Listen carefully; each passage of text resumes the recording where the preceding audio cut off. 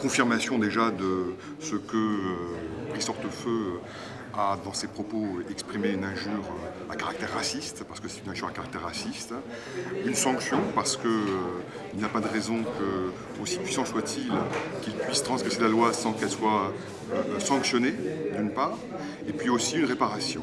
Une réparation pour euh, le groupe qui a été visé, c'est-à-dire l'ensemble des Arabes de France. Le fait de faire venir Dali Baker, finalement, rentre dans cette logique-là de communautarisation, de segmentation, de hiérarchisation des Français.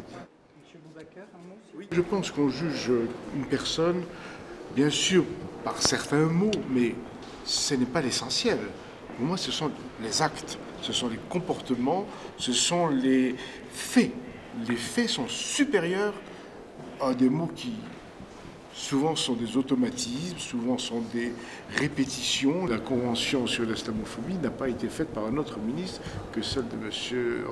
Donc il faut juger objectivement